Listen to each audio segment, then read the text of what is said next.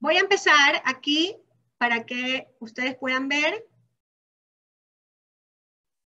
Bueno, nuestros panelistas de hoy es el ingeniero César Ponce Zurita, es ingeniero agrónomo, graduado de la ERP, con especialidad en agricultura de precisión, edafología y sistemas de gestión de calidad agrícola. Amplia experiencia en la gerencia de proyectos de desarrollo agrícola e investigaciones de campo a nivel internacional. Es presidente de la empresa Agrorum en Ecuador y gerente general de Agrorum SAC en Perú, enfocada en servicios de asesorías hacia el sector agroproductivo, alimentario y ambiental de América Latina. Bienvenido, César, a este nuestro webinar. Y nuestra siguiente panelista es la ingeniera Evelyn de la.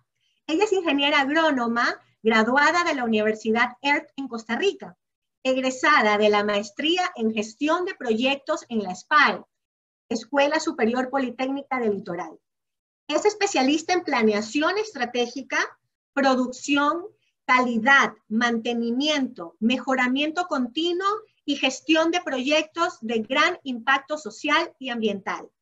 Es nuestra coordinadora de planificación y proyectos de la empresa Agrorum, enfocada en servicios de asesoría hacia el sector agroproductivo, alimentario y ambiental de América Latina. Voy a dejar de compartir mi pantalla para dar ya inicio a nuestra conferencia y que pueda Evelyn compartir su presentación o César. Y hasta eso yo voy leyendo los saludos. Marta Herrera, bienvenida. Saludos desde Vinces. Hipólito, desde Perú, buen audio. Bienvenido, Hipólito.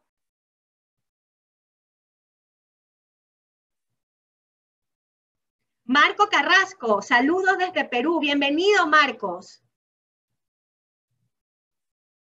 Bueno, creo que estamos listos para iniciar. Les cedo la palabra, pueden abrir sus micrófonos.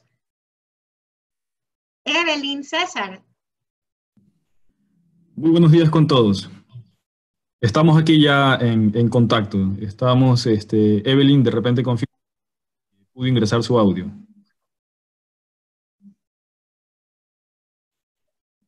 Los escuchamos muy bien. Sí, perfecto. Solamente falta Evelyn nada más que que confirme su, su, audio y podemos empezar.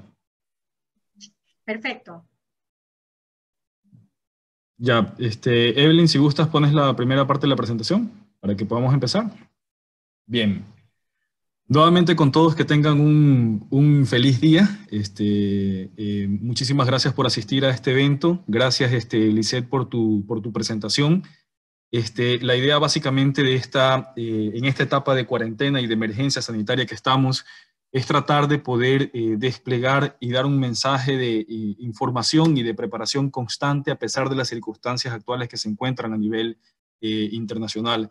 Y hemos traído temas de relevancia y de importancia dentro de la, de la, compañía desde el punto de vista agrícola, porque ya hemos dado presentaciones y capacitaciones desde el punto de vista en el área de alimentos.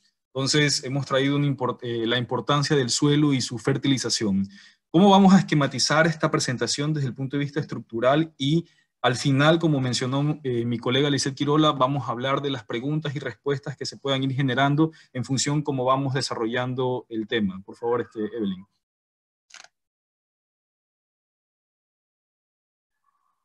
Bien. Eh, para poder hablar de lo que es el tema de, la importancia del suelo y la agricultura de precisión, yo siempre traigo a colación una frase muy importante que es, em, lo que no se define no se puede medir. Básicamente, cada actividad que nosotros hacemos en el campo, evidentemente, ya sea desde el punto de vista de fertilización, de elaboración de control de malezas, desde lo que es el tema de aplicación de riego, tiene que eh, tratar de saber cuál es la medición de cada uno de esos parámetros y de la variabilidad que existe en campo con el objetivo de saber cuánto es lo que voy a aplicar. Entonces, uno de los primeros aspectos y los pasos principales es definir no solo geográficamente el tamaño de una hacienda, sino también determinar cuál es la distribución de cada una de las variables que influyen en la posible variabilidad que existe en campo. Entonces, no es noticia que cada una de las personas que estamos presentes en esta eh, conferencia, logran identificar y saben que existen inconvenientes en lo que es este, lotes de la, de, la hacienda que tienen mayor producción, menor producción. Entonces, para poder lograr tener una receta específica y hacer lo que en, en, agricultura de precisión se conoce como manejo por sitio específico, es importante definir. Entonces, lo que no se define no se puede medir y lo que no se mide no se puede mejorar. Y evidentemente lo que no se puede mejorar se degrada siempre. Entonces, en, muchos cultivos, en el caso de banano, cacao y algunos otros cultivos de otros países que nos están escuchando, escuchaban a nuestros abuelos que decían, eh, antes llegamos a producir aquí eh, 3.000 cajas de banano, 4 toneladas de cacao, eh, tantas toneladas de palma, tantas toneladas de arroz, y evidentemente ha habido un proceso de degeneración y una degradación debido al, al consumo em, acelerado de los procesos y degradación de nutrientes, de materia orgánica y composición física de los suelos, lo cual genera una, un detrimento o una disminución de eh, la producción y evidentemente no es sostenible en el tiempo mantener esas producciones. Entonces, Lord Kelvin eh, eh, trae a colación esto y vamos ahorita ver en esta parte de la capacitación esos procesos, cómo vamos a definir, cómo vamos a medir y cómo podemos mejorar cada una de estas partes del proceso para tener una producción sostenible que sea desde el punto de vista rentable eh, y no solamente rentabilidad a nivel de producción, sino también a, nivel de reducción de costos. Entonces, eso vamos a, tomar en consideración. Para, ¿Cuáles son estos pasos? ¿Qué hacer eh, cuando tenemos una finca, un cultivo establecido algo en barbecho, queremos comenzar una, una nueva hacienda?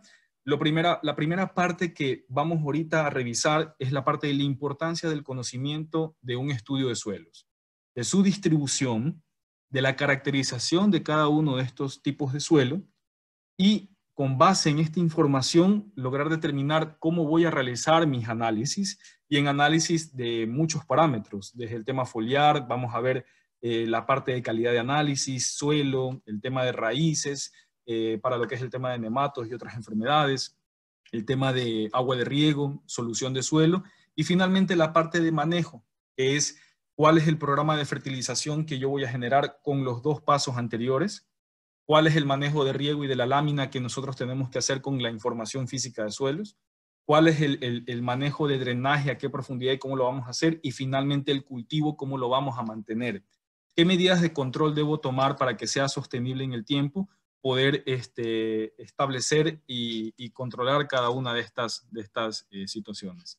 Entonces, para poder explicar cada una de estas partes del proceso es importante que sepamos cuál es la variabilidad existente. A la derecha en el mapa que ustedes pueden ver mundial están solamente lo que son los órdenes de suelo. A nivel internacional tenemos, perdón, tengo un eco, disculpa, ahora sí. Este, a nivel internacional tenemos aproximadamente 15 órdenes de suelo, eh, principalmente eh, registrados a nivel del Sistema de Clasificación Mundial de Suelos.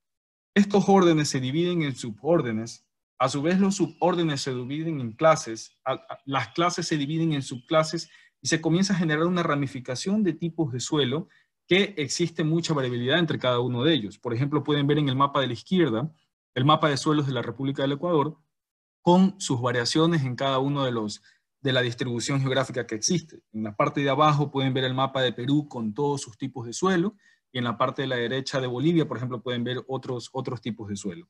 Esto para traer a colación y como ejemplo de la variabilidad que puede existir de provincia a cantón y no se diga lo que vamos ahora a ver en la siguiente lámina en función a cada una ya de, las, de los lugares, de los sectores y de las haciendas. Por ejemplo, desde el punto de vista eh, práctico hemos traído, por ejemplo, un ejemplo este, ahí tienen ustedes la península de, Santa Elena y una hacienda de 200 hectáreas. Según el estudio de suelos a nivel nacional, en el caso del Ecuador, se generaron dos tipos de suelo.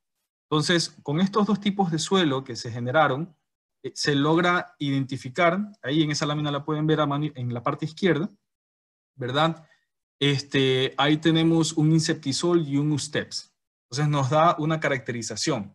Pero la, la caracterización física de suelos que me genera el Estudio Nacional de Suelos, que de hecho fue elaborado en el caso de Ecuador recién en el 2015, hubo una actualización hecha, este, donde el laboratorio con el que nosotros trabajamos realizó eh, casi el 60-70% de los análisis de suelo, y, y llega a prestar un nivel de detalle bastante bueno, a un nivel de escala bien, bien realizado. Sin embargo, no obstante, la hacienda cuenta con una variabilidad de subclases de suelo mucho más altas. En la parte derecha es el estudio de suelos realizado por nosotros, donde eh, ya vamos a explicar las partes del proceso de un estudio de suelos, cómo, cómo se realiza de manera breve, eh, no vamos eh, a entrar mucho a nivel de detalle de una, de una clase de cómo realizar un estudio de suelos porque es un tema muy amplio y podemos demorar muchas horas, pero a lo que voy con esta lámina es que ustedes, la información nacional les puede prestar cierto nivel de detalle, pero es indispensable que ustedes lo hagan en la finca para que cada uno de estos tipos de suelo que ustedes pueden observar, en este caso estamos hablando de tres, cuatro tipos, tres tipos de suelo en esa, en esa lámina, se pueda tener un tratamiento específico de riego y de fertilización. Y evidentemente cuando tomamos una muestra de suelo es de aquí de donde parte el criterio y lo vamos a ver en las siguientes láminas. El estudio de suelos, ¿cómo lo vamos a, caracterizar? El concepto principal básicamente es tal cual como nos toman una radiografía a una persona de nuestra estructura ósea, es lo mismo que ocurre en el caso de, los estudios de suelos. Es tomar una radiografía completa de la composición física y estructural del suelo en cada, desde 0 hasta 120 centímetros de suelo, en algunos casos a mayor profundidad para cultivos arbóreos, y lograr plasmar eso en un mapa. La parte física de suelos le, conocemos como la parte eh, estática del suelo como tal. Y esa parte estática, un suelo arenoso de aquí en miles de años, un suelo franco de aquí en miles de años. Eso es un proceso de degradación y de meteorización que ocurre, que ha ocurrido durante centenas y millones de años. Entonces, una roca pasó a fraccionarse por la lluvia, por factores bióticos y abióticos, por la lluvia, por el sol, por los microorganismos, por los roedores, y de una roca se transformó una piedra, de una piedra se transformó este, en, piedrilla, y así se van fraccionando hasta el punto en que pasan, como pueden ver en el triángulo de texturas en el medio, el color rojo, de arena, que está al lado izquierdo, areno-francoso, franco-arenoso, y se van fraccionando y dividiendo hasta que pueden llegar a la partícula más pequeña que es arcilla y en el caso de otros compuestos, mucho más este, con un tamaño de partícula mucho menor. Entonces, el estudio de suelos se realiza una vez en la vida, no se realiza más, porque la, el comportamiento de los suelos a nivel físico es muy estático.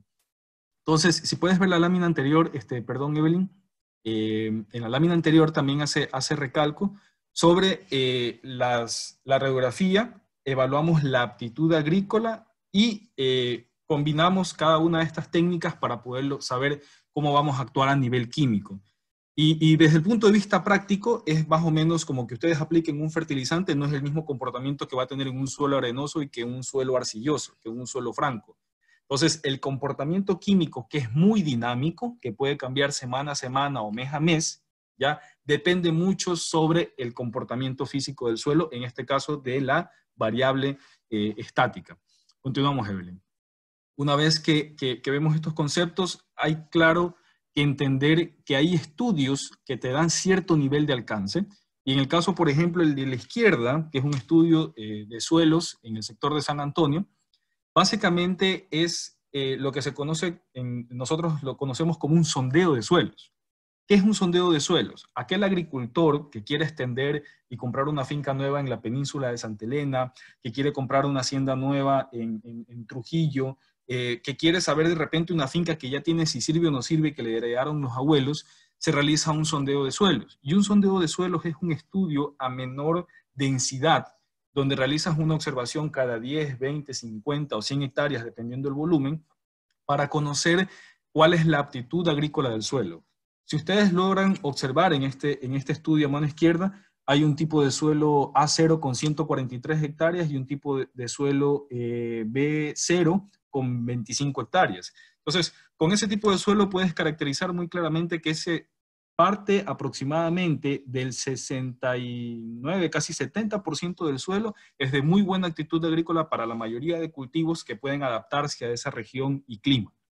Entonces, con base en este estudio, tú ya ves la factibilidad de poder sembrar. Sin embargo, el sondeo de suelos no te permite tomar decisiones a nivel de fertilización específica por cada hectárea. El estudio de la derecha es el que le conocemos como estudio detallado de suelos, el EDS y este se realiza hectárea por hectárea, con el objetivo de esa variabilidad que ustedes a mano izquierda la ven de manera más sencilla, a mano derecha en, una finca que esta hacienda creo que son aproximadamente 80 o 100 hectáreas, ya lo ves mucho más eh, formado, más disperso. En el caso de esto es una finca de banano, las líneas negritas que ven ahí son eh, cablevías, las líneas azules son drenajes y comienzas ya a hacer una caracterización un poco más detallada para poder este, ver el enfoque. Entonces, eh, como regla de esto, si queremos comprar una hacienda o ver si sirve una hacienda ya existente, el sondeo de suelos es una alternativa muy buena y es más económica. Y a la derecha, el, estudio detallado de suelos que te permite ya a nivel de manejo saber cuánto vas a regar y cuánto vas este, a fertilizar. Continuando, revisamos eh, cómo se realizan estos procesos. Eh, metodologías existen a nivel internacional muchas, ¿verdad? Brasil tiene sus metodologías de sistemas de clasificación de suelo, de taxonomía de suelos. Australia, Europa, cada uno tiene sus propios sistemas de clasificación y en el caso nuestro nosotros nos hemos anidado, nos hemos apegado a lo que el Departamento de Agricultura de Estados Unidos tiene en un manual de estudio de suelos y también en la clasificación taxonómica de suelos. Ahora, eh, hace unos años atrás, este, un reconocido doctor, que no recuerdo ahorita el nombre, amigo, este, él generó un nuevo sistema de clasificación mundial de suelos que congrega todos los sistemas de clasificación en una sola terminología. Porque hagan cuenta como que este, a, un cultivo que tiene un nombre científico, en otro, en otro país tiene otro nombre científico. Entonces, las metodologías establecen cuáles van a ser los parámetros para poder ver cuál es la distribución geográfica de cada uno de los tipos de suelo. En nuestro caso, utilizamos barreno tipo tubo, o también, eh, no sale aquí la fotografía, pero un barreno tipo tornillo, tipo Edelman, o le conocen como holandés, para poder extraer las muestras de suelo en suelos complicados, como en, la península, en el oriente, que tienen mucha piedra. Entonces, se puede extraer la suelo y en cada centímetro por centímetro vamos describiendo la profundidad de cada uno de los horizontes, la clase textural según la, eh, el, el, triángulo de texturas de la FAO, color según la tabla Munsell, hidromorfismo eh, para ver cuál es el comportamiento. Ya vamos a hablar sobre temas de oxirreducción. Y finalmente, todo georreferenciado para que sea proyectado en un mapa. ¿Cuál es el resultado de esta información que levantamos y que leemos? En la siguiente este, eh, lámina, Evelyn, la podemos ver. Vamos a ir viendo cada uno de estos, de estos tipos. Y eh, como primer parte del proceso, hacemos esta distribución de puntos. Y ahí hacemos una, este, una distribución de cada punto hectárea por hectárea y vamos caracterizando y describiendo cada uno de los tipos de suelos. En el caso de la derecha es la densidad para un sondeo cada 10, 15 hectáreas y en el caso de la izquierda es eh, lo típico distribuido hectárea por hectárea para un estudio de suelos. Si podemos continuar, en la siguiente lámina vamos a ver eh, parte de esos procesos y qué tenemos como resultados. Vamos a ver ahorita breves y sencillos ejemplos de la ubicación especial, espacial, eh, zonificación de pendientes y miren, Ahí tenemos el caso de una hacienda donde tenemos que antes de ir a la hacienda saber con qué tipos de suelo estamos en su entorno. Ese es un mapa de la provincia del Guayas, ¿verdad? Donde se ubica cada, cada hacienda y en el caso de la hacienda vamos a lograr determinar qué tipo de suelos vamos a encontrar. Entonces, el mapa nacional de suelos del Ecuador actualizado, como les decía, hasta el 2015, es un Oxisol UDOX. Entonces, ya vamos a encontrar y vamos a caracterizar y vamos a identificar también lo que se conoce como morfología del terreno. Este es un ligero mapa a tres dimensiones donde ustedes a la izquierda pueden ver una caracterización de alturas desde lo de, 30 metros a 40 metros hasta la más baja que ven en amarillo de 20 metros hasta 21 metros. Entonces, este estudio que se lo hace, la gente dirá, es que hay que hacer un estudio topográfico muy, muy complejo. No. Eh, si queremos un nivel de detalle eh, superficial, hay unas imágenes satelitales que se llaman imágenes GDM, que logramos identificar eh, con un porcentaje de, error de más de un metro cinco metros puede ser, eh, pero te logra dar una identificación donde el punto azul que ustedes ven acá es uno de los puntos más altos y el punto amarillo que ven arriba a la izquierda es uno de los puntos más bajos. Entonces vas a saber cuál es el comportamiento y cuál ha sido el comportamiento del agua durante esa época y muy posiblemente ese comportamiento del agua, qué influencia ha tenido a nivel nutricional en cuanto al tema del lavado de sales y lavado de nutrientes y vas a poder hacer una caracterización mucho más amplia. En base a eso, ustedes, eh, eh, en el caso de esta hacienda, se comienza a ver todo lo que es el tema de configuración de drenajes, el tema de cablevías, pero la infraestructura que se diseña o que ya está diseñada tiene que estar acoplada de acuerdo a la caracterización física eh, del suelo. ¿Por qué? Porque hemos encontrado casos de haciendas donde quieren implementar una empacadora en el mejor suelo, quieren poner este, ciertos lugares en los mejores suelos, eh, en el caso de centros de acopio, de elaboración de abonos, cuando tienes suelos que son muy mala, de muy mala calidad que puedes utilizar para esas condiciones. Pero también la, ubicación de los drenajes y la profundidad de los drenajes, el tema de la distribución de los cablevías en base a las alturas y a la morfología del terreno que ahora están viendo, tiene mucha importancia y relevancia en la planificación o en lo ya establecido en la modificación de los sistemas. En el siguiente cuadro pueden ver también el tema de pendientes, aquellas haciendas o aquellos asesores que nos están escuchando que están interesados en la parte de mecanización. En cacao se está hablando mucho de esto también. Eh, las maquinarias pueden tener un máximo de pendiente que permite movilizar eh, a los equipos, entonces se puede hacer zonificación de pendientes. Y sabes qué lugares son muy complejos como los rojos, y los color naranja que pueden ver en, la hacienda, y tienes otros lugares que ya son verdes, donde ya son un poco más, más planos. Y esta zonificación de pendientes es muy relevante para hacer una caracterización de lo que es el tema del riesgo de erosión de un suelo. Y aquellas fincas que están certificadas con este, Rainforest, que tienen normativas ambientales, son aspectos muy relevantes para determinar el riesgo, porque en base a esta zonificación de pendientes es que tú comienzas a realizar, eh, digamos, siembras de cultivos para poder mermar la erosión, como el vetiver y, otras, y otros tipos de plantas, para poder eh, hacer una planificación de defensa del, uso del suelo, evitar la erosión eh, física y química también de los, de los suelos, y en ese sentido te da mucho beneficio. El siguiente, la siguiente lámina, además de pendientes, te comienza, por ejemplo, a generar mapas de hidromorfismo. Y, esto lo quiero explicar de manera muy breve, es un tema muy, muy amplio, pero esto, el hidromorfismo es básicamente la coloración que toma el suelo en base a las condiciones químicas que ha sido sometida al suelo por factores eh, de exceso o eh, deficiencia de agua. Particularmente eh, lo que ocurre básicamente, por ejemplo, con el caso del hierro, este, eh, hay una parte del hierro en el cual en presencia y ausencia de agua logra oxidarse y el hierro que es este F3 pasa a, F2 como óxido de hierro, eh, F2O, y logra tener una presencia química en la solución del suelo disponible para las raíces desde un punto de vista este, eh, de acidez de suelo. Me informan, José Guerrero, que se cortó la comunicación. Espero que nos sigan, nos sigan escuchando. Puede ser un problema de internet de, ustedes. Este, si vemos el, el, cuadro anterior de hidromorfismo, este, Evelyn, por favor, em, para seguir, ¿qué es lo que ocurre en caso contrario? Eh, y a ver a veces suelos que se ven manchas rojas.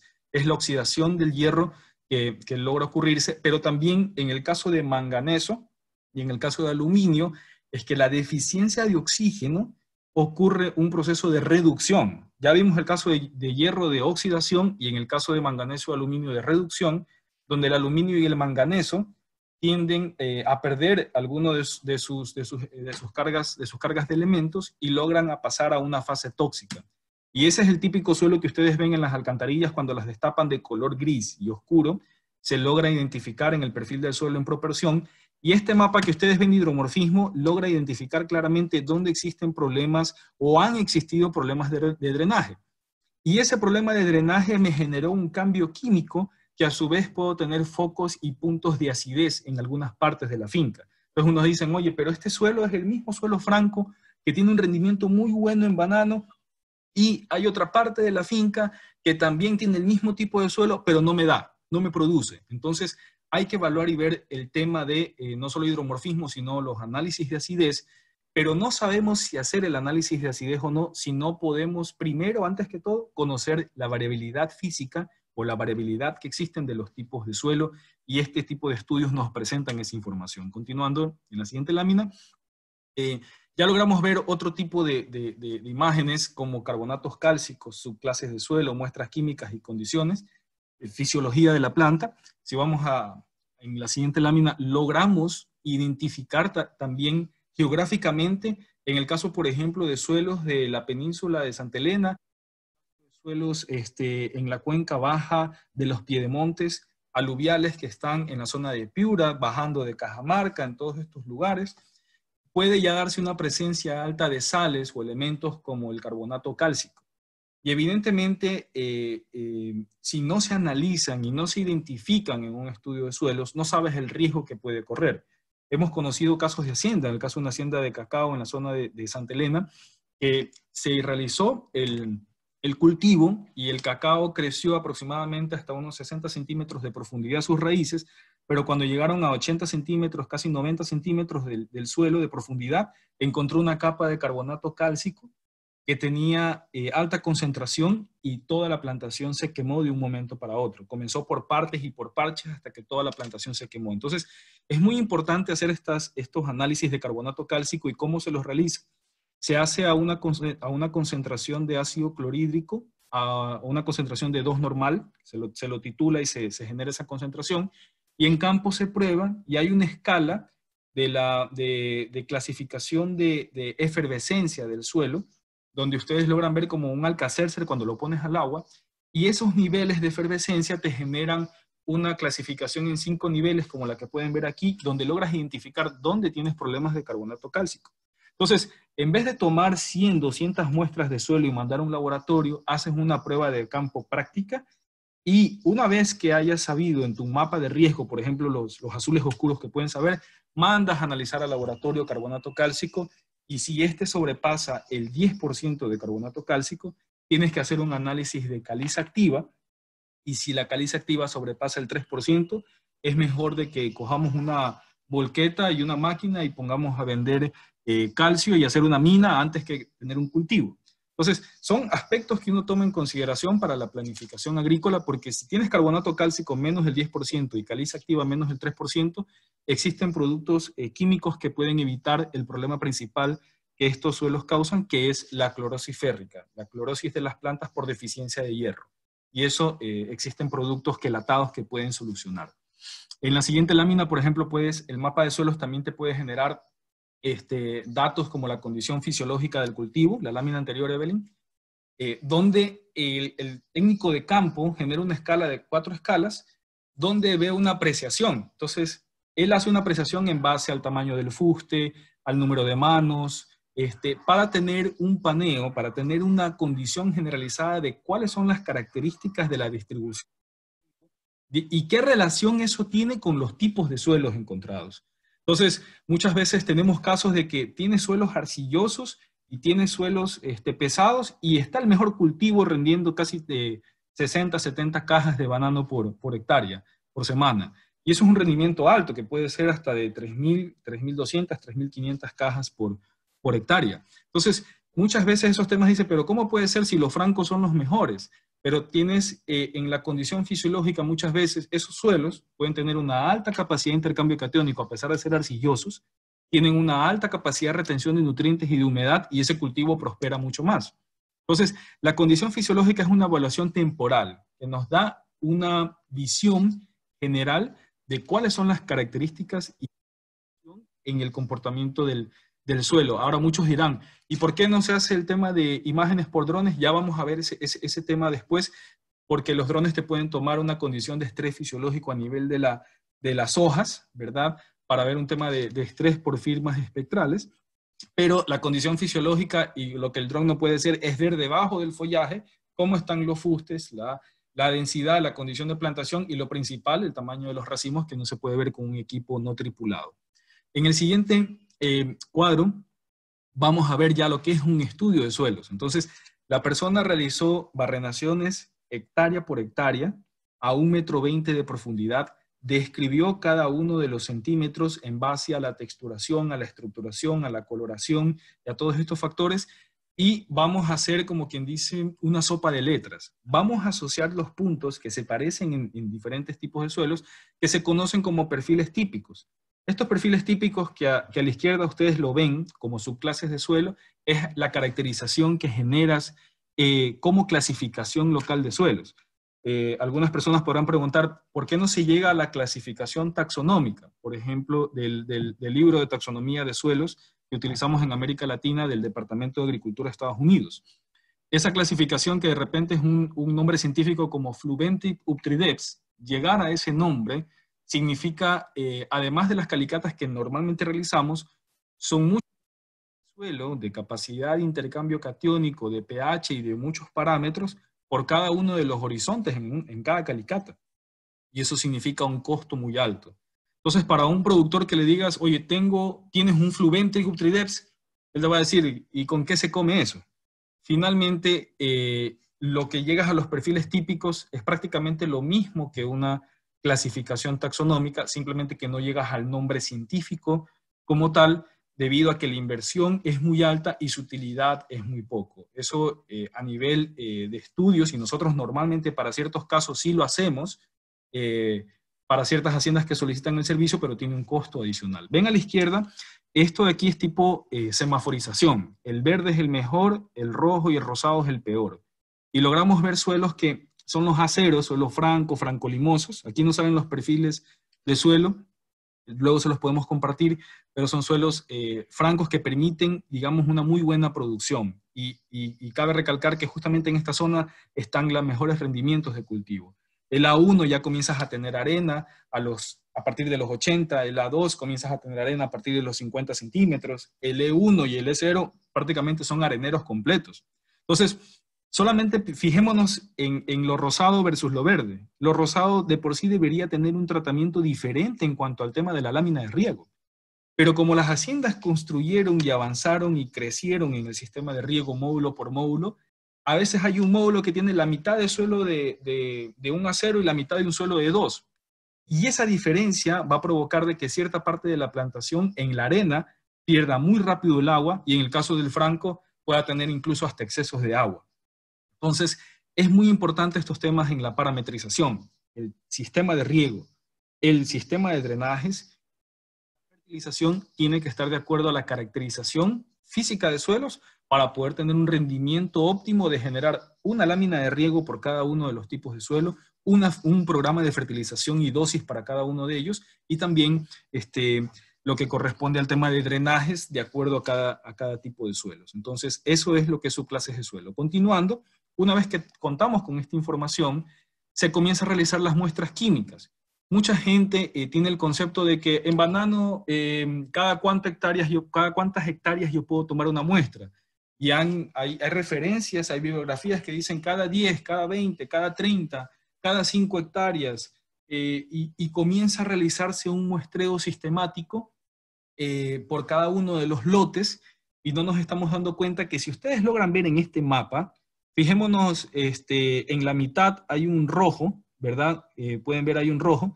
Y si vamos a tomar a uno de esos lotes, el lote puede ser que conglomere el rojo, el rosado y el verde.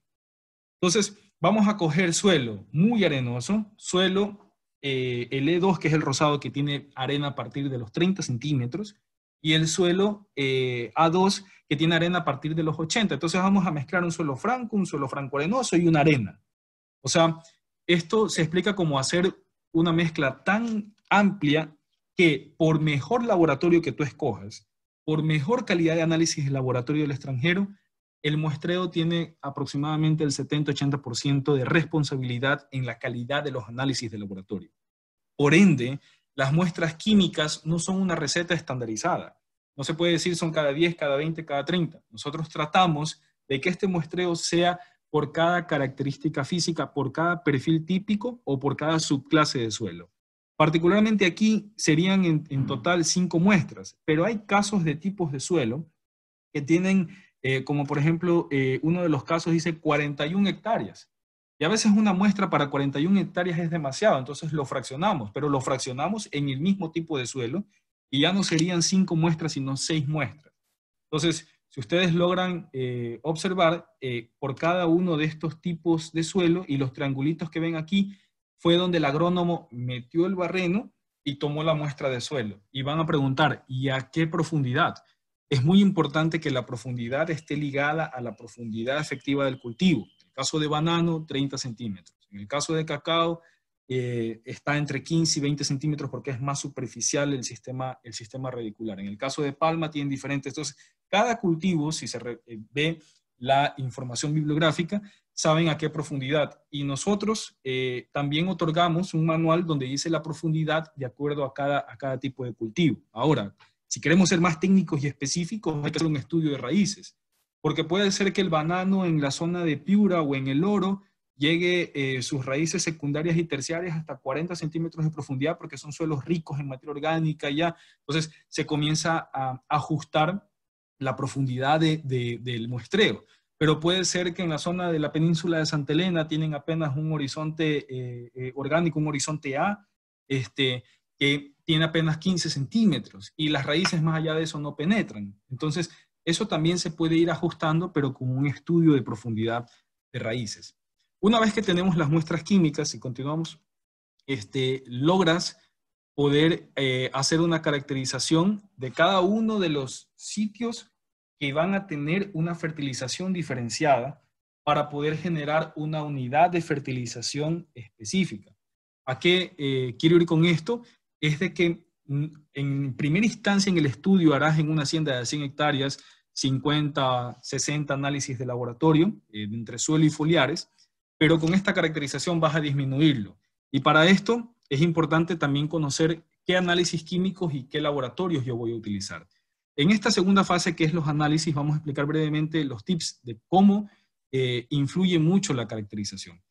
En los análisis químicos, por ejemplo, ustedes pueden ver aquí los tipos de suelo y las muestras que tuvieron. Cada triangulito que ustedes logran observar, en el caso de esta finca que es previsora 1 y previsora 2 de un cliente, se tomó una muestra por cada uno de los tipos de suelo. Y esa caracterización generó una tabla de resultados donde uno comienza a aplicar estadística, ¿verdad? Análisis de coeficientes de variación, puedes este, hacer análisis por porcentaje de variación y en base a eso caracterizar. Entonces, en primera instancia, cuando haces una planificación de recolección de muestras, el agrónomo ya va con el GPS, donde va a tener que tomar la muestra, porque esa muestra está caracterizada a un, a un tipo de suelo y esas muestras químicas finalmente tienen que luego ser procesadas para ver la fertilización, cómo se va a manejar. En el siguiente eh, mapa lo podemos también este, evidenciar. Este es el trabajo final en cuanto al tema de una lote con una fertilización específica.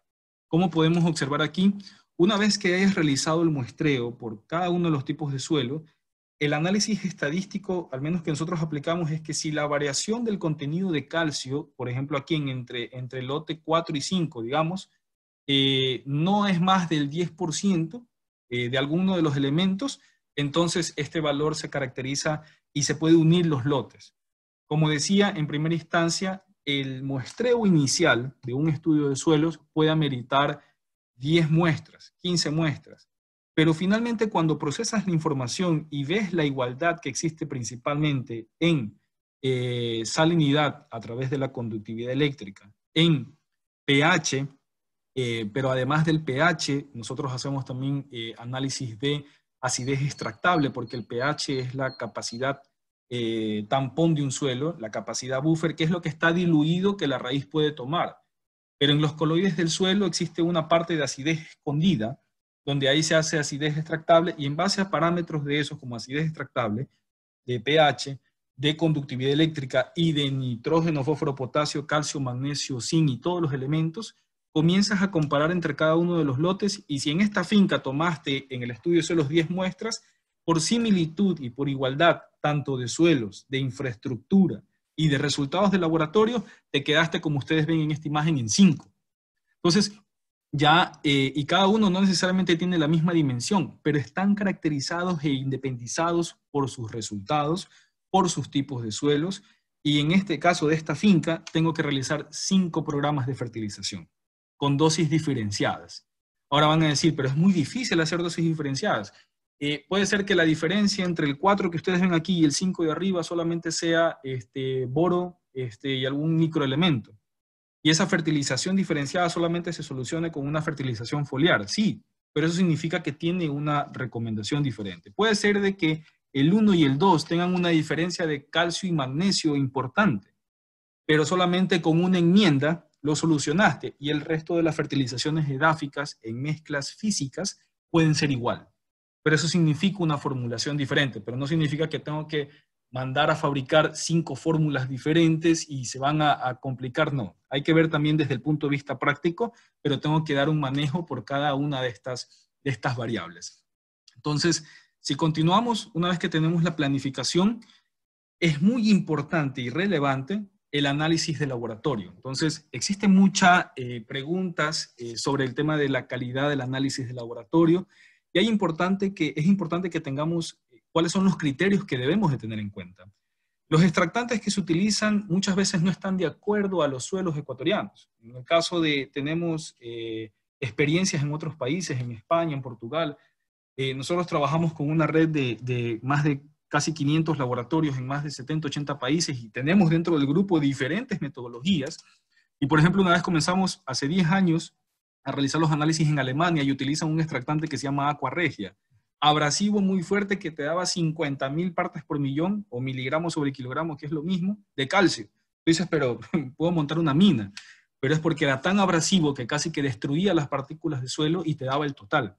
Entonces, el extractante es muy importante en qué tan abrasivo es para yo poder validar y tener un rango de interpretación que sea adecuado a eso. Entonces, particularmente en el, en el Ecuador y en algunos otros países, estandarizan esto, pero en el caso de otros países no lo estandarizan. Por ejemplo, ácido clorhídrico utilizan en el caso de, Chile y que está estandarizado. Todos los laboratorios utilizan lo mismo y los rangos de interpretación están muy adaptados a eso. Pero muchas veces otros laboratorios eh, en el caso de otros países, no hay una normativa oficial legal y, con un colega yo conversaba, esos son investigaciones que pueden tomar aproximadamente unos 4 o 5 años y se invierte más de 20, 30, 50 millones de dólares en el Estado para poder estandarizar y decir vamos a utilizar estos extractantes. ¿Por qué? Porque si el extractante te da un resultado diferente en cada uno de los, de los, de los laboratorios, si tú mandas una muestra dividida a un laboratorio que utiliza extracto de cloruro cálcico para análisis de bases como calcio, magnesio y potasio, y la misma muestra te la manda para otro laboratorio que utiliza Olsen modificado, tú dices los resultados son diferentes, pero en realidad estás comparando papas con cebollas. O sea, son cosas muy, muy diferentes y es ahí donde uno tiene, eh, en ese sentido, que utilizar los extractantes más adecuados y yo eh, que he trabajado en, varios sectores antes de, trabajar acá en la compañía, he, evaluado y he visto cuáles extractantes me dan concentraciones adecuadas. Entonces, para bases, extracto de cloruro cálcico nos gusta mucho. Para elementos menores, extracto de, acetato amónico también te genera las concentraciones que en realidad la planta prácticamente casi las va a tomar. ¿ya? Pero hay otros extractantes, como por ejemplo el Olsen modificado, que utilizan muchos laboratorios aquí a nivel eh, local, que este, son extractantes especializados principalmente para la extracción de ciertos elementos en suelos muy ácidos. Y esa fue la receta que aplicaron muchos laboratorios porque también es más económico utilizar un extractante para analizar 7, 8 parámetros a que utilizar 4 o 5 extractantes para, utilizar, para analizar los mismos 8 o 10 parámetros. Entonces, ahí es la diferencia de precio, pero el resultado finalmente te va a dar una concentración en miligramos sobre kilogramos o en partes por millón que se va a transformar en una dosis de fertilización. Entonces es muy importante no escatimar el esfuerzo o el precio porque finalmente gastas, en el caso de banano o en el caso de cacao, entre 800 a 1.500 dólares por hectárea. Una finca de 10 hectáreas, 15 mil, 20 mil, de 100 hectáreas, 150 mil dólares por ahorrar 30, 40 dólares en análisis. Eso no tiene mucha relevancia. Dos, los equipos y las metodologías. Ya hablamos de la profundidad efectiva. En el caso de foliares, cada cultivo tiene una metodología específica. ¿Por qué? Porque la concentración está evaluada y vista de tal manera que se pueda comparar el resultado en una etapa fisiológica. En el caso de banano, plantas prontas a parir, eh, plantas que están ya casi botando este, una flor, eh, es el momento indicado donde la traslocación de nutrientes está estandarizado en ese tercera hoja que tú tomas la parte media eh, y una parte del peciolo, tomas para la muestra de análisis de laboratorio. Entonces ya está estandarizado porque hay estadística de miles de datos que te dieron un rango de interpretación que el calcio debe estar de tanto a tanto por ciento. Si tomas en otra etapa fisiológica, eso va a, va a existir una variación y por eso hay una estandarización para cada uno de los cultivos, para cacao. El otro día había una pregunta de pitahaya, eh, eso se, asimila a la tuna también, hay metodologías, entonces se va viendo los procesos. La comparación de los rangos de interpretación es muy importante. Si bien es cierto, en el caso de banano han sido estandarizadas mucho con Olsen modificado y en el caso para nitrógeno con, con eh, NUMAS o KELDAL, que son las metodologías de nitrógeno. Nosotros aplicamos coeficientes eh, para cada uno de esos que puedan ser aplicados los rangos de interpretación de, de Olsen a los extractantes que utilizamos eh, nosotros, que son más de 5 o 6 para analizar todos los, los, análisis. Y laboratorios acreditados, eso es muy importante.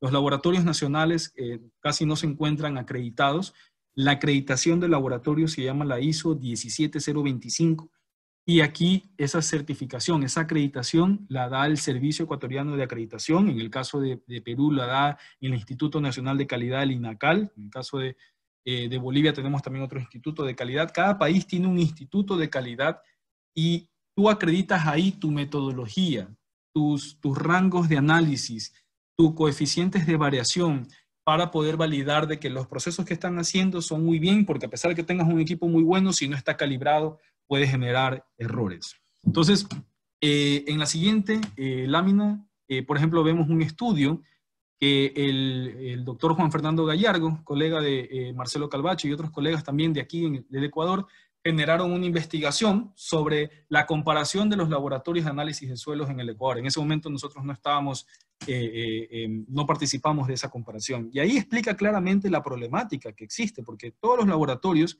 utilizan muchos métodos diferentes.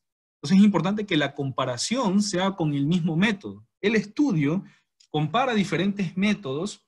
Evidentemente no se puede sacar mucha estadística, eh, digamos, tan eh, fidedigna porque estás comparando diferentes métodos. Si fueran los mismos métodos, puedes hacer un análisis de varianza, puedes hacer estadística, pero lo que es importante en este estudio es que enseña que un laboratorio puede tener eh, datos eh, de hasta un 70, 80, 90, 100, 200% diferente entre un laboratorio y el otro.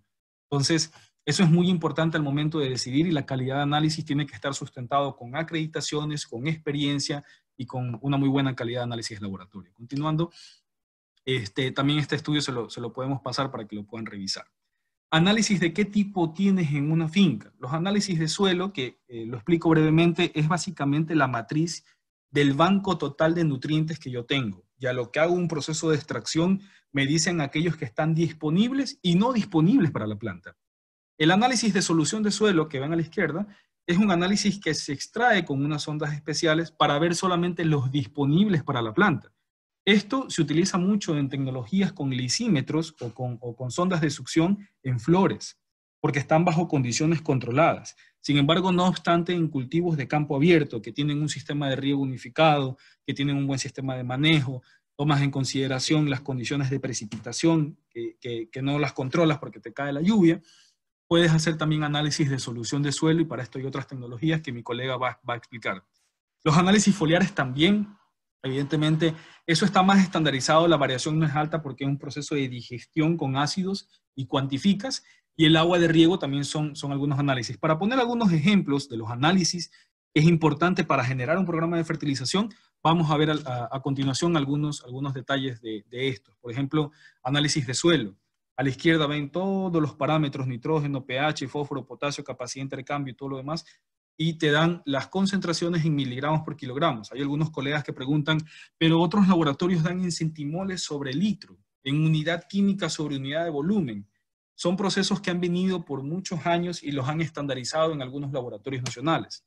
Lo que nosotros hacemos es, es lo mismo presentarlo en centimoles sobre litro, lo transformas con, coeficientes eh, que, cambian los parámetros de, química volumétrica a peso-peso como miligramos sobre kilogramo o partes por millón, porque finalmente tú no aplicas centimoles sobre litros de fertilizante, no aplicas centimoles de fertilizante, aplicas kilogramos de fertilizante, aplicas gramos por planta y muchas veces los resultados de los laboratorios locales hacen un poco tedioso que los agrónomos tengamos que hacer toda la transformación de centimoles sobre litros, que no es que es imposible, se la puede hacer, pero es mucho más fácil si las unidades te las presentan en miligramos sobre kilogramo y con coeficientes puedes pasar en cuántos kilos tengo disponibles de calcio en el suelo eh, para mi cultivo de banano, de cacao, de palma. Y pasas a una recomendación este, específica. Entonces, eh, adicional a eso, los resultados, eso en el caso de suelos, los de foliar también vienen en las concentraciones y vienen en los rangos. Hay partes de resultados que se presentan en porcentajes y hay otros resultados que se presentan en, este, en eh, concentraciones de peso-peso. Y a la derecha pueden ver unas, unas barritas donde te explican claramente en rojo lo deficiente, en amarillo lo óptimo y en verde el exceso. Entonces tú aquí ya puedes tomar decisiones de qué excesos tienes de nutrientes, en el caso de manganeso, molibdeno, eh, boro y de cloro, posiblemente con una sobrefertilización de eh, cloruro de potasio o aguas que tienen alto contenido de cloro, y puedes ver cuáles están óptimos y cuáles estás deficiente en el caso de fósforo. Entonces, ya ahí ya puedes eh, tener de manera gráfica una interpretación muy clara sobre eso. Si vemos en el siguiente, lámina Evelyn, podemos ver este, rangos de interpretación de solución de suelo.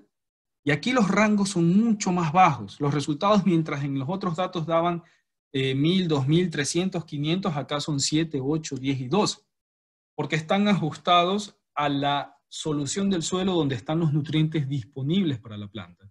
Entonces, evidentemente, eh, en ese sentido, se tiene que tratar de evaluar y ver que los rangos de interpretación estén ajustados para el tipo de suelo y para los análisis. Esto es otro análisis de eh, agua de riego, donde ustedes pueden eh, ver también parámetros de conductividad, nitrógeno, boro, fósforo, y finalmente te da un rango, este, un resultado, y, en, ahorita no sale, pero en la siguiente eh, hoja del resultado te saca un coeficiente de Kelly, donde te dice si tu agua de riego em, eh, está generando alguna dificultad o tiene una alta carga de bases o de nutrientes para que ingresen al sistema y los descuentas del programa de fertilización y te ahorras dinero pero tienen que ser con cantidades considerables.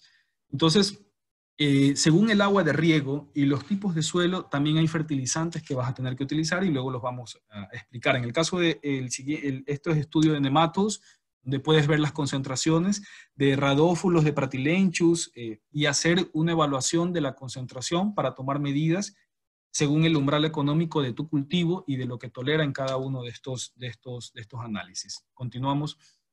Eso es en el caso de, raíces.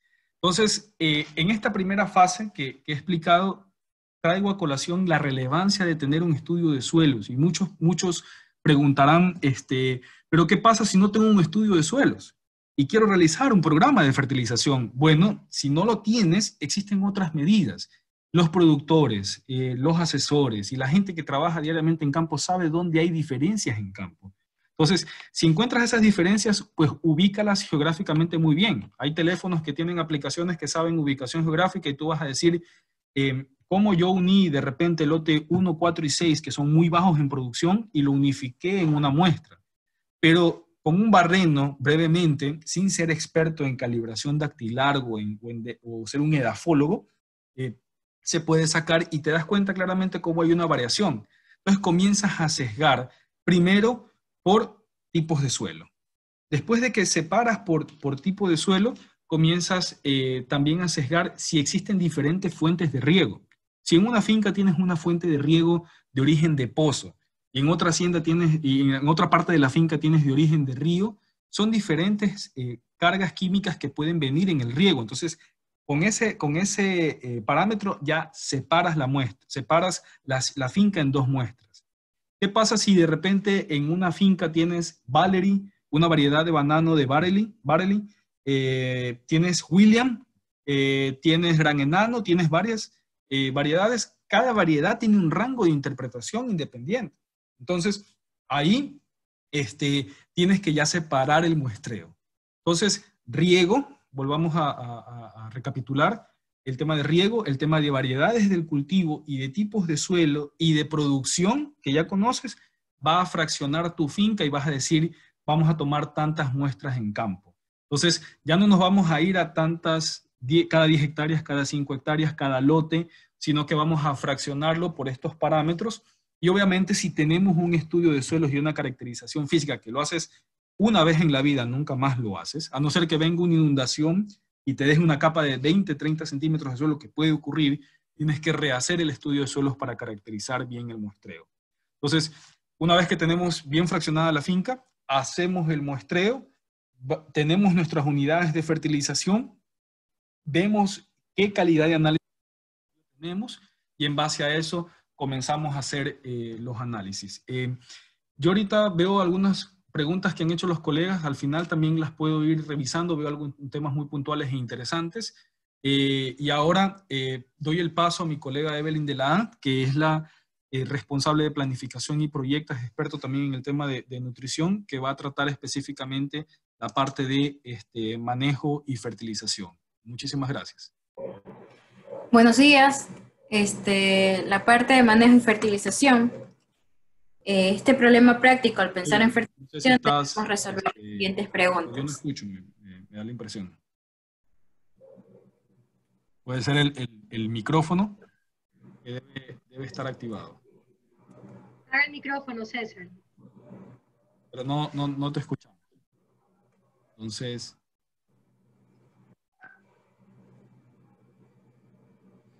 ¿Se me escuchan? No sé si eh, soy yo que no la estoy escuchando. Eh, escribir ahí en el, en, el, en el, chat. Que lo podamos ir eh, viendo, por favor, pero no, no te de, de Evelyn.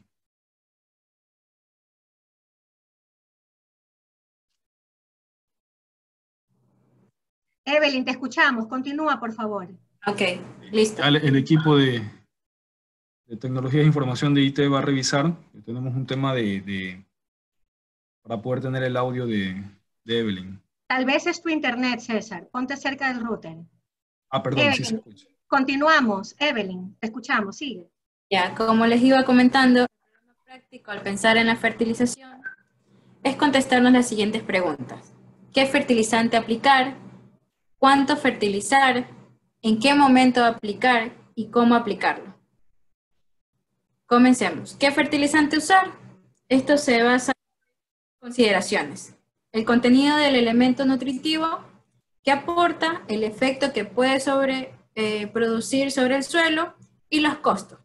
Por ejemplo, el nitrato de amonio es un material higroscópico. ¿Qué quiere decir esto? Que es capaz de absorber humedad y tiende a endurecerse en condiciones de mucha humedad, por eso se debe evitar almacenarlo por mucho tiempo. ¿Cuánto fertilizar? La determinación de las dosis de un fertilizante puede basarse en dos sistemas. Uno es de acuerdo a lo que salga, lo que reflejen los análisis de laboratorio, ya sea de suelo y de foliar, y el otro se basa en un balance nutricional. ¿Cómo aplicarlo? En el caso de plantaciones adultas, eh, manejadas de manera perenne, como en el caso de la mayoría de las plantaciones de Ecuador, se considera que existe una adecuada cantidad de raíces en un anillo que se localiza de 30 hasta 60 centímetros de distancia de la planta, por lo que se recomienda fertilizar frente al hijo de sucesión, haciendo una semiluna en un ancho de 30 centímetros, lo cual es razonable desde el punto de vista operativo. ¿En qué momento aplicar? Eh, vamos a poner el ejemplo del nitrógeno. El nitrógeno requiere un manejo cuidadoso debido a que es muy susceptible de ser perdido en los suelos. El nitrógeno puede ser perdido a través de la volatilización, lixiviación, desnitrificación, erosión y escorrentía. Por ejemplo, si se aplica el nitrógeno demasiado pronto antes de que la planta lo requiera realmente, una parte importante del nitrógeno se perderá antes de que el cultivo lo absorba. Por lo tanto, se debe minimizar el tiempo de permanencia del nitrógeno en el suelo.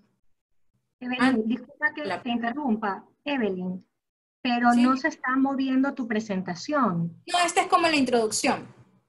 Ah, discúlpame, ok, estaba preocupada. Gracias. Continúa, por favor. Ahora sí llevamos al balance nutricional.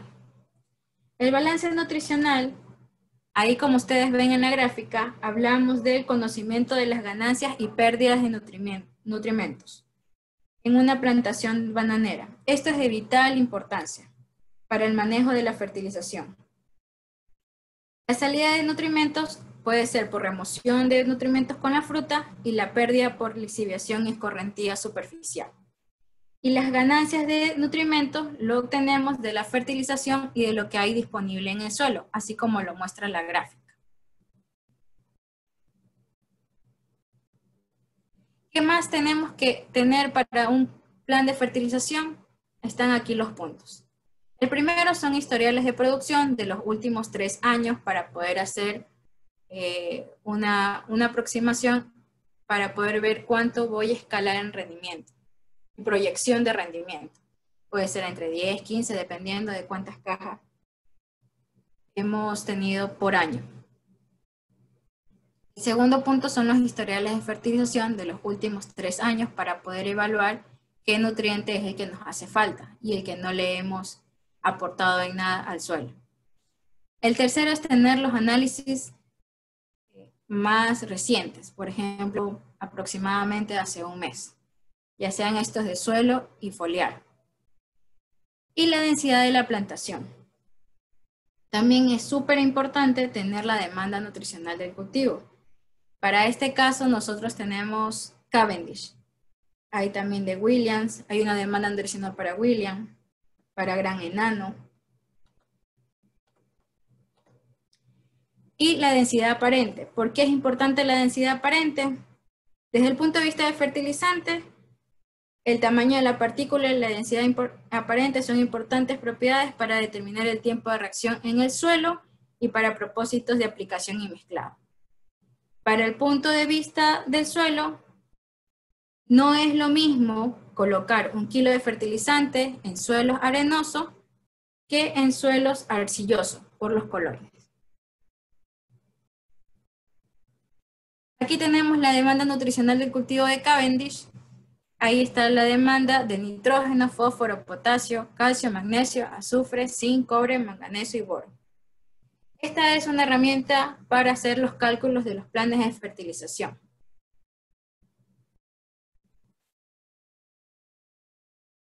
En esta parte de la demanda nutricional es importante recalcar, recalcar los términos de absorción y extracción. Se entiende por absorción la cantidad total de nutrientes absorbidos por el cultivo durante su ciclo de desarrollo. En cambio, el término de extracción es la cantidad total de nutrientes en los órganos cosechados. La diferencia entre los términos es significativa al momento de las recomendaciones de la fertilización, bajo el criterio de la reposición.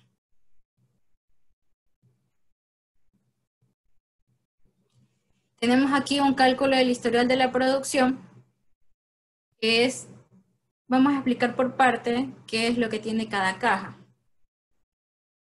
El registro total de las cajas por año. Esta caja totales por año viene de las cajas por hectárea por año. Son 1878. Y después tenemos las toneladas por hectáreas por año, que se calcula de las cajas por el peso de la caja. La merma incluye ese 21% de merma, son el 12% de fruta de rechazo y el 9% de, del pinzote.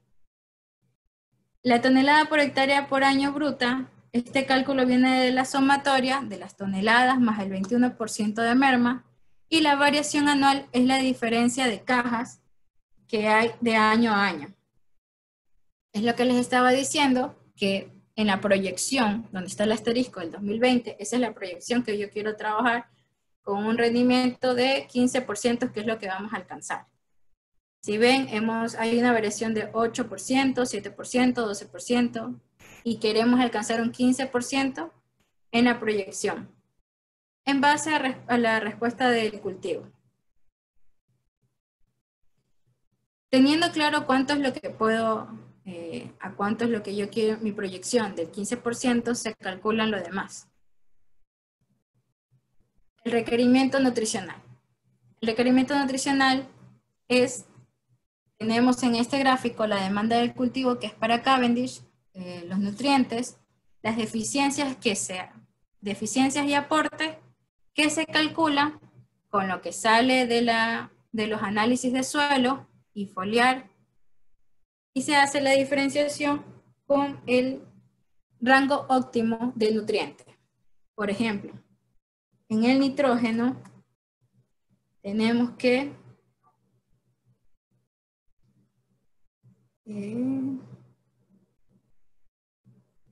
el nitrógeno Ahí tenemos 0.41, que es deficiencia. El requerimiento nutricional, esto de aquí es multiplicado por las toneladas y por la proyección que yo quiero del nutriente.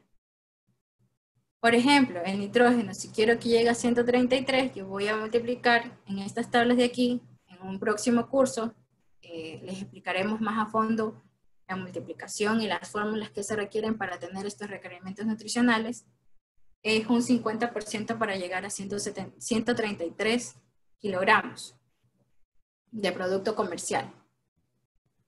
En la siguiente caja, el producto comercial, de la demanda ya es la comparación con la demanda del suelo.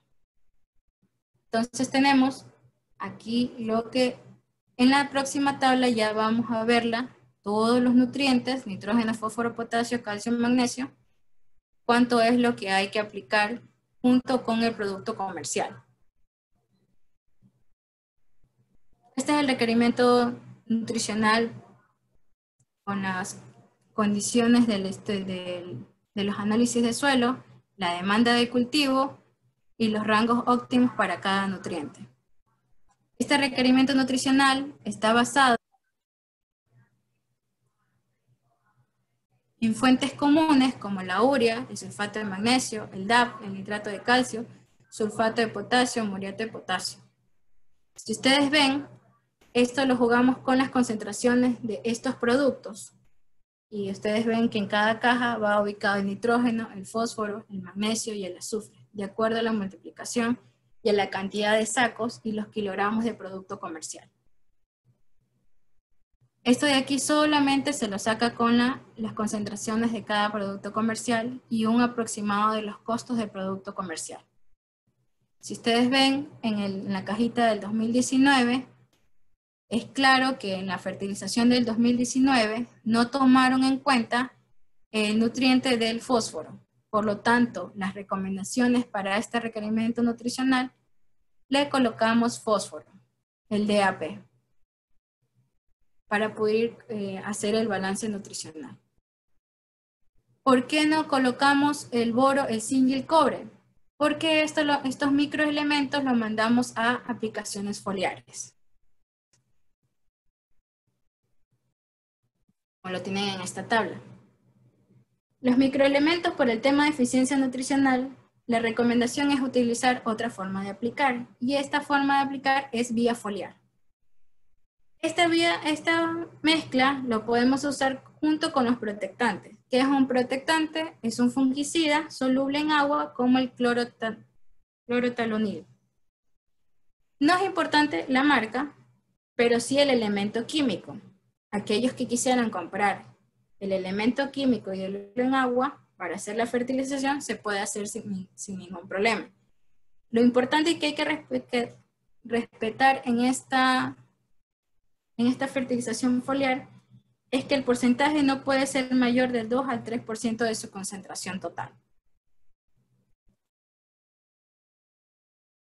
La materia orgánica. Uno de los mejores insumos para reconstituir la fertilidad de los suelos es la materia orgánica, adecuadamente descompuesta. De acuerdo al tamaño, eh, nosotros le ayudamos para que sea más disponible al suelo.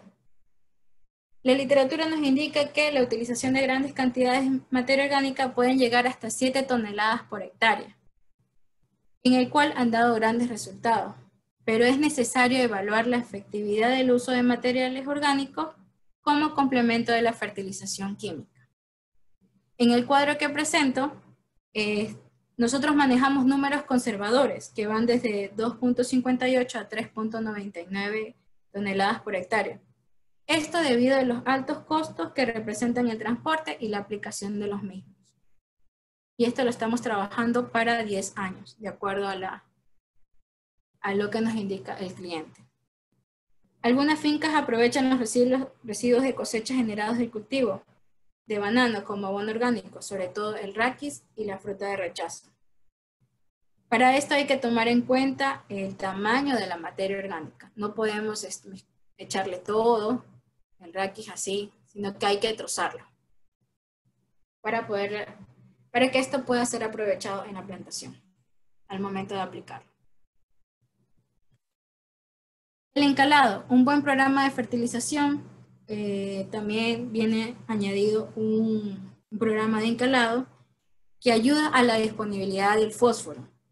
La aplicación de la cal corrige la toxicidad del aluminio y la deficiencia de calcio. Y la corrección de estos factores permite un incremento en la absorción del fósforo.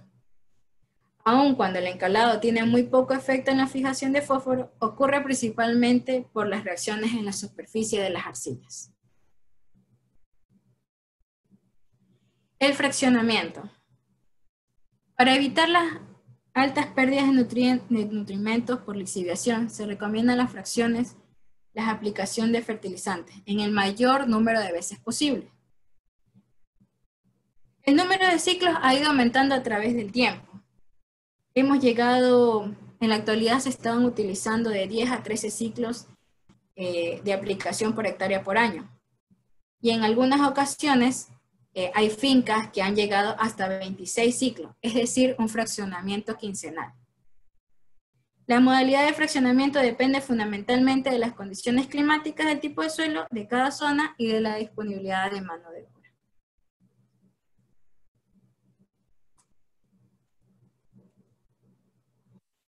Como monitoreo del cultivo tenemos eh, esto de aquí, que es parte de la agricultura de precisión, esta es eh, con un dron.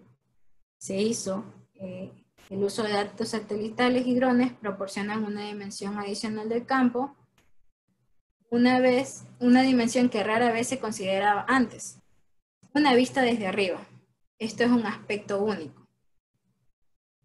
Esto de aquí se hace a través de una clasificación máxima de verosimilitud del modelo NDVI, Índice de Vegetación Normalizado Diferenciado donde se puede observar que las plantas identificadas de color rojo presentan estrés, mientras que las de color verde se encuentran sanas. Entonces, si ustedes ven claramente, se puede ver dónde está ubicado el estrés y dónde hay que, ya está más focalizado eh, las tareas de campo, por dónde no están haciendo bien las tareas de campo, por dónde no se está fertilizando bien, por dónde se ve estrés. Una vez identificados estos parches, nosotros podemos darle una guía al personal para poder atacar estos problemas que tenemos de estrés. El monitoreo también lo podemos hacer eh, con plante, que son sondas que se instalan en, los cultivos y lo que hace el plante es los beneficios son el diagnóstico de la dinámica de los nutrientes, las correcciones nutricionales oportunas, la efectividad de fertilizantes, detección de antagonismo y desequilibrios nutricionales, determinación de pérdidas por lixiviación y volatilización y minimizamos el impacto económico y ambiental. Estos son los servicios que tiene Agrorum. La parte alimentaria, servicios de muestreos, auditorías e inspecciones en sistemas de gestión de calidad en toda América Latina. En el agrícola tenemos desde estudios de suelo, topografía, eh, vuelos con drones para el monitoreo de cultivos. En el, en el, área ambiental tenemos servicios analíticos en agua potable, agua de riego, agua de descargas y investigación y desarrollo, eh, proyectos para la industria en seguridad y eficacia en nuevos productos y variedad de cultivos a través de la realización de estudios de campo y de laboratorio.